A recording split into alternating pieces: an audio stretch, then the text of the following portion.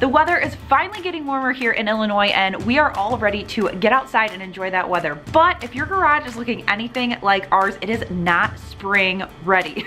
So today I partnered with Cricut to show you some simple tips and tricks for ways that you can organize your garage so it's one less thing you have to worry about as we head into the warmer weather. So stay tuned.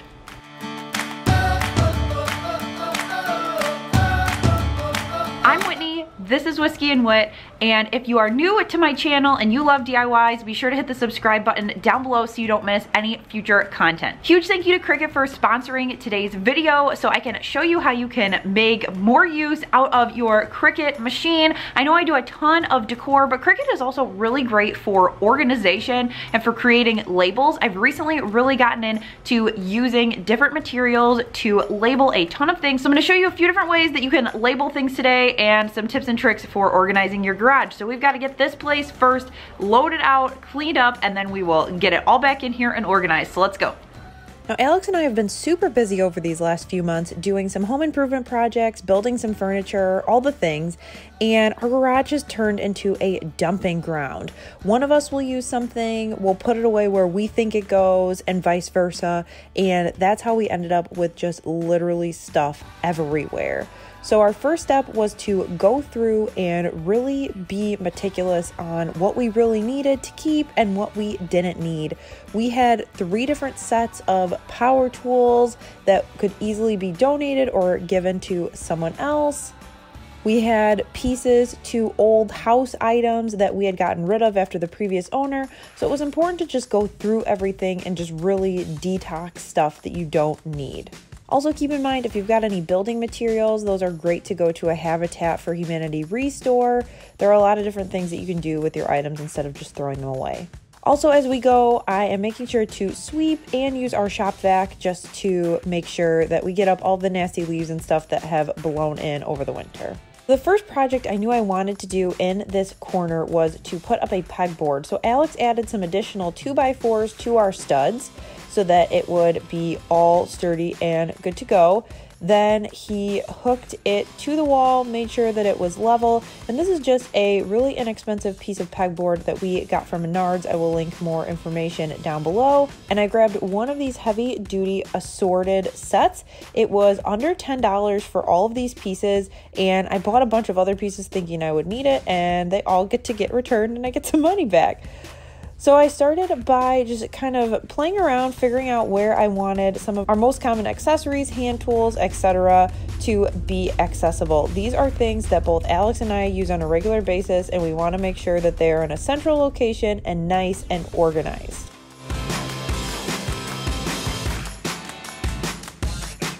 So once I knew where things were going to go, then cue Cricut.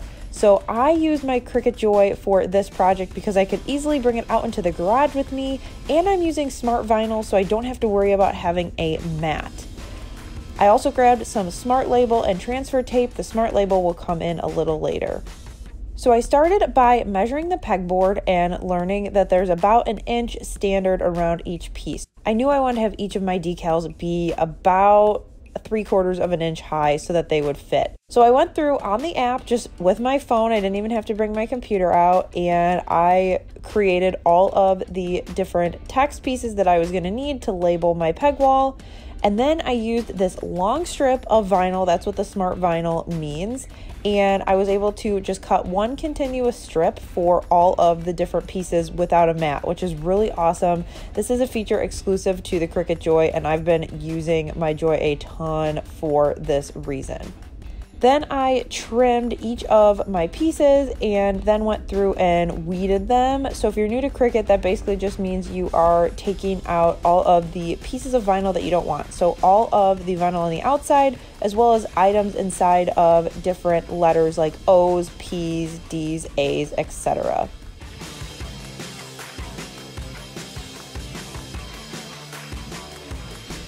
Once everything was weeded, I grabbed some Cricut transfer tape, and this basically just looks like a big piece of tape, but this is going to help you transfer your decal to where it needs to go. I used my Cricut burnishing tool to push everything down, and then I cut my pieces into the individual decals or stickers. Then it was time to figure out where I wanted them on my pegboard and I went ahead and applied them. Now I'm using permanent vinyl here because I think that will stand up better to any of the elements, especially because our garage is not insulated or drywalled. So I just pulled off tools one by one and I put the sticker somewhere where it would not be really overpowering that there were words everywhere and a lot of them it's behind the items but then you know right where something goes back when you take it off of the pegboard. Like i said that was one of the biggest things that we had trouble with at our house where i would use a stud finder i would put it where i thought it needed to go then alex would do the same and it would be in a different spot.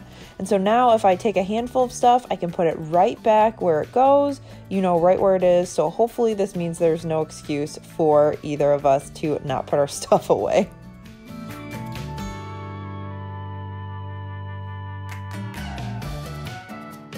One amazing area that people don't think about for storage in their garage is up above. So for us, we have open rafters. So we just took some plywood and put our seasonal items up there like lights and porch decor. But if you don't have something like this, you could absolutely purchase something that you can hook to your ceiling if your garage is drywalled. Another thing not to look over the power of are singular hooks or nails. So because our studs are exposed, these nails were out and these were here from the previous owner. So we use it to hang up a lot of different things, get it up off the floor and keep things organized. Another thing to think about when you're organizing garages is to consolidate. So here I am creating a grid so that I can create labels to consolidate all of these different containers that we have of screws and nails.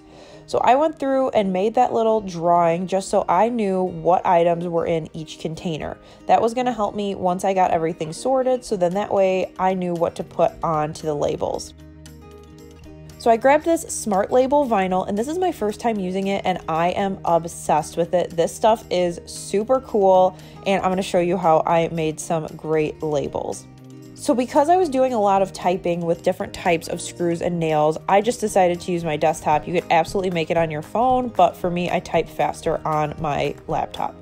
So I started by creating rectangle shapes the size of what I wanted my stickers and labels to be.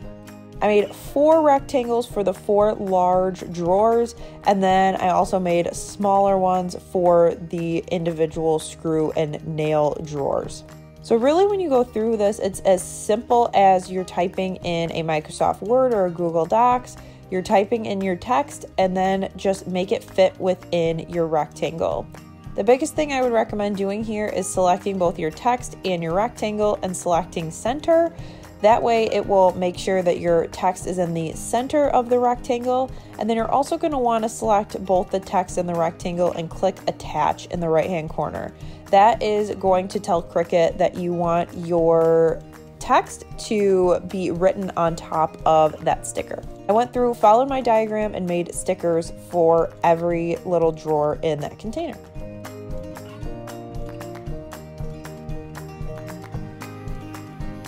So it's the same process as the other smart vinyl where it just goes as one continuous strip.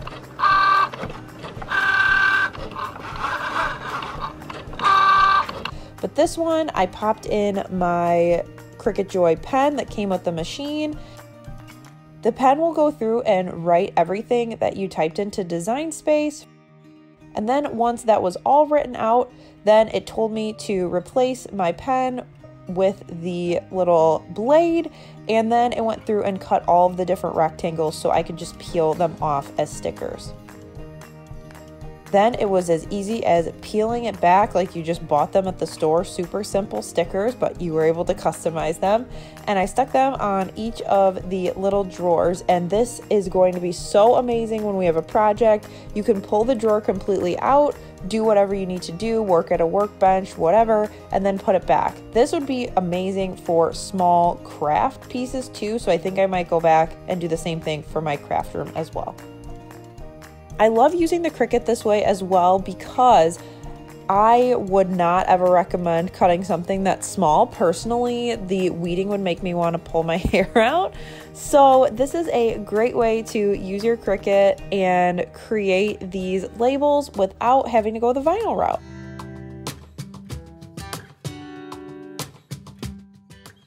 My next area that I wanted to tackle was scrap wood. I've got a lot of different pieces left over from projects that I have plans for, but it was just kind of piled up in the corner. So what I did is I took Alex's fishing poles, made sure they were back in the little fishing pole holder rack, whatever you want to call it that we have here.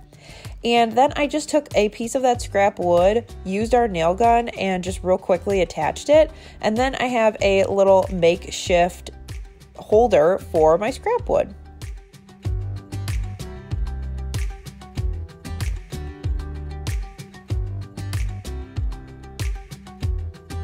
On this side wall, we were also lucky that the previous homeowners had this hanging bar for things like brooms and shovels, and Alex has the weed whacker on there and some different saws and things. And so that was nice to be able to just get everything back put away where it went. And then I also gave it a really good sweep and shop vac. It had been a long time since we have done that, and so it was really nice to see the floor again. Now, my last thing that I knew I had to do something with were all of these bins on the shelves. Now, we tried to have a process before with these bins, but unfortunately, it just didn't work for us. And I think the problem was neither of us knew really what was in each bin, so we didn't know where to find stuff A, and B, we didn't know where to put it back when we were done. So to fix that, I went in to Design Space and created some little tags to attach with twine. It's really simple. So I went and created a circle, the width of what I wanted. I ended up using a two inch circle. And then I made a smaller circle, selected both of them, and hit slice. That's going to create three different pieces for you and delete the two that you don't want. And that will leave your circle with the hole in the top. And that will allow you to hang your tags. Now you can handwrite these, but I really love using the Cricut writing tool now. If you haven't guessed, I am loving using it. And so I went and found a font that I liked. I typed out all the different names that I wanted to put on the different baskets. The key thing here is to make sure you select writing and then I went through and followed the same process that I did for those other write-on labels, selected it, made sure that it was centered and then hit attach in the right hand corner. And then I followed the prompts to insert both my Cricut pen in slot A and then my blade was already in the B slot.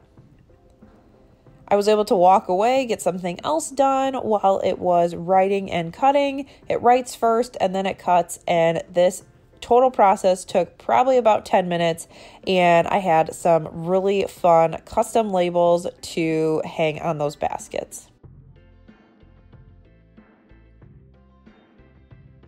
So because the cardstock was something I already had on hand, I also grabbed some jute twine and we're using baskets that we already had.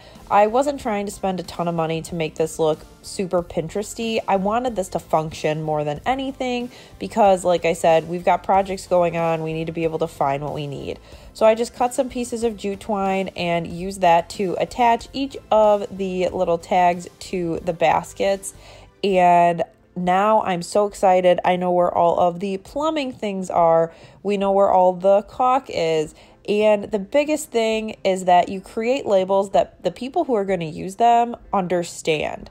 So, for us, we have this one that's random house stuff, but we both know exactly what is in there and it helps us find things when we need it, which is super helpful. I used these same techniques throughout the garage to make sure things were labeled correctly. I grabbed a couple of these stacking organizers from Menards and labeled those so that I knew where my craft stuff was, like sanding blocks and wood filler and glue. And it feels so amazing to have an organized and clean garage now. So here's a reminder here is what the garage looked like before, and here is what it looks like after.